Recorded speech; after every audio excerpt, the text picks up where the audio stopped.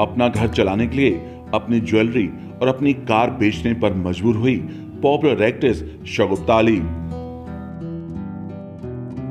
काम नहीं मिलने से आर्थिक तंगी से गुजर रही हैं popular actress Shagufta Ali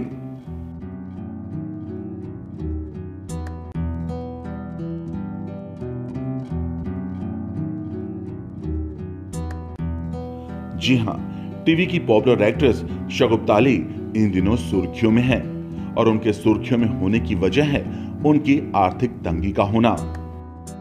popular serial जैसे सांस, ससुराल सिमर का बेपनाह जैसे कई सारे सीरियल में अपने एक्टिंग का दम दिखा चुकी एक्ट्रेस शगुफ्ता अली ने हाल ही में अपने एक इंटरव्यू में किया इस बात का खुलासा कि वो पिछले चार साल से आर्थिक तंगी से गुजर रही हैं।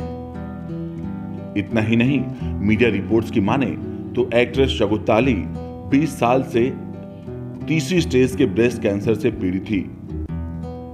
और अब वो डायबिटीज़ और स्वास्थ्य संबंधी परेशानियों का सामना कर रही हैं। एक्ट्रेस शगुफ्ता अली तंगी से छुटकारा पाने की हर संभव कोशिश कर रही हैं और वो इंडस्ट्री से काम मांग रही हैं। एक इंटरटेनमेंट न्यूज़ पोर्टल को दिए अपने एक इंटरव्यू में एक्ट्रेस शगुफ्ता अली ने इस बात को रिवील किया कि उन्हें किसी से किसी तरह की मदद नहीं मिली है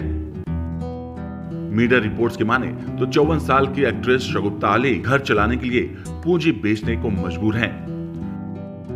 उन्होंने अभी तक अपनी कई सारी चीज़ें बेच दी हैं। इसमें गाड़ी, ज्वेलरी और कई कीमती सामान भी है फ़िलहाल लेटेस्ट अपडेट यह है कि सीरियल सारा भाई वर्सेस सारा भाई, फेम एक्टर सुमित राघवन सावधान इंडिया के होस्ट सुशांत सिंह और एक्ट्रेस नीना गुप्ता उनके सह कलाकार सीरियल सांस के निर्देशक सहित कई लोगों की तरफ़ से शगुप्ता को सहायता मिली है। मीडिया रिपोर्ट्स के माने कि जब उन्हें पता चला कि शगुप्ता अली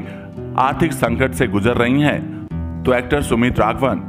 और एक्टर सुशांत सिंह जो शगुप्ता को आपा कहते हैं वो आगे आए और उन्होंने उनकी मदद की। इसके अलावा cine and TV artist association यानी सिंटा ने भी शगुप्ता से संपर्क किया है और जो उनसे बेहतर बन सकता है, वो कर रहे हैं।